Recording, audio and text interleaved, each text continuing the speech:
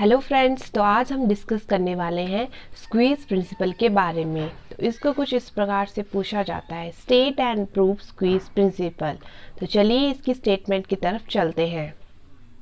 Music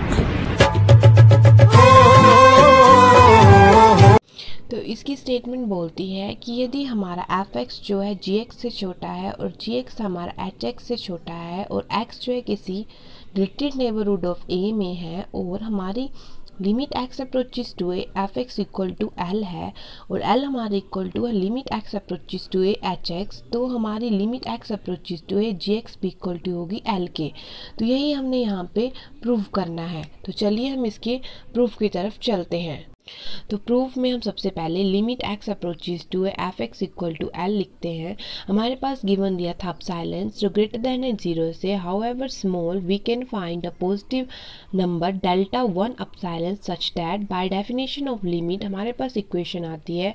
Mod f x minus l less than epsilon for zero less than mod x minus a less than delta one जिसको हम लिख सकते हैं। L minus epsilon less than f x less than l plus plus epsilon 4 0 less than more x minus a less than delta 1 तो आप पूछोगे कि इसको मैंने ऐसे क्यों लिखा तो यहाँ पे देखो जब हमने mod f x minus l less than epsilon लिखा और मोड को हम राइट हैंड साइड ले गए तो हम जब मोड को हम हटाते हैं तो ये पॉजिटिव और नेगेटिव वैल्यू देता है। हमने तीनों तरफ़ जो है एल का एडिशन करवाया है। तो देखो यहाँ पे एडिशन हुआ एल का, यहाँ पे भी एडिशन हुआ, यहाँ पे भी एडिशन हुआ। अब यहाँ पे एक पॉजिटिव एल था, यहाँ पे एक नेगेटिव एल था। एल से एल कैंसिल हो गया पॉजिटिव नेगेटिव से। तो हमारे पास रीअरेंज करके ये इक्वेशन आ गई। देखो यही इक्वेशन यहाँ पे आई तो ये कुछ इस प्रकार से आई है। समझ रहे हो? समझ रहे हो अगेन हमारे पास जो दूसरी इक्वेशन दी थी limit x approaches to a h x equal to है हम यहाँ पे इसको लिखते हैं। हमारे पास गिवन दिया था साइलेंस जो ग्रेटर देन ज़ीरो से। However small we can find a positive real number delta two of epsilon such that by definition of limits ये भी हमारी इक्वेशन ऐसे कुछ इस प्रकार से बनती है। Mode hx minus l epsilons sorry mode hx minus l less than epsilons for 0 less than mode x minus a less than delta 2 तो दैट इज़ इसका मतलब है कि l minus epsilons less than x h x less than l plus epsilon वो zero less than mod x minus a less than delta two तो ये भी कुछ इस प्रकार से आई हमारी। देखो, इसको भी हमने यहाँ पे पहले लिखा, mod h x minus l less than epsilon mod हम इस तरफ़ ले गए, मोड हटा तो पॉजिटिव नेगेटिव वैल्यू दी एडिशन कराया का। देन यहाँ पे हमारे पॉजिटिव नेगेटिव कैंसिल हुए और हमारे पास ये आ गया। तो ये भी कुछ इस प्रकार से आई। अब यहाँ पे हम डेल्टा लेट करते हैं, डेल्टा वन और डेल्टा टू को मतलब हम डेल्टा वन की जगह भी डेल्टा को पुट करेंगे और डेल्टा टू की जगह भी हम डेल्टा पुट करेंगे। अब यहाँ पे देखो हमारी इक्वेशन फ़र्स्ट थी यहाँ पे।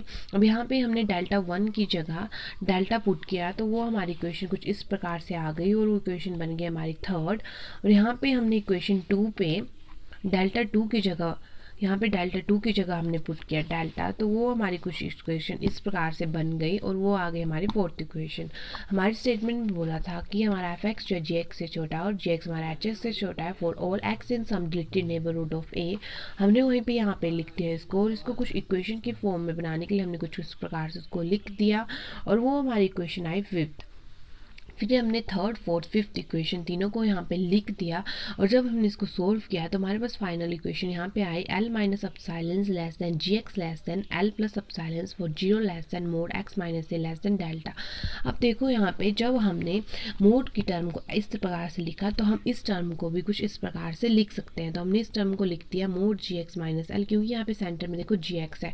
जब हमने मोड को यहाँ पे चेंज किया तो यहाँ पे एफ़ एक्स था तो यहाँ पे एफ़ एक्स आ गया उसी प्रकार से यहाँ बन गया mod g x minus l less than epsilon for 0 less than mod x minus a less than delta यहाँ पे हम इसको फिर लिखते हैं limit x approaches to g x equal to l hence हमारा रिज़ल्ट आ गया. Thank you